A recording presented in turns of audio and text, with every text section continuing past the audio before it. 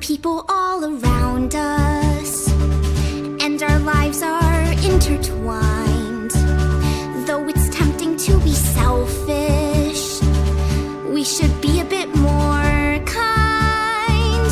Cause those people need compassion. They're the same as me and you. A protector lives for more than just herself. That's what heroes do.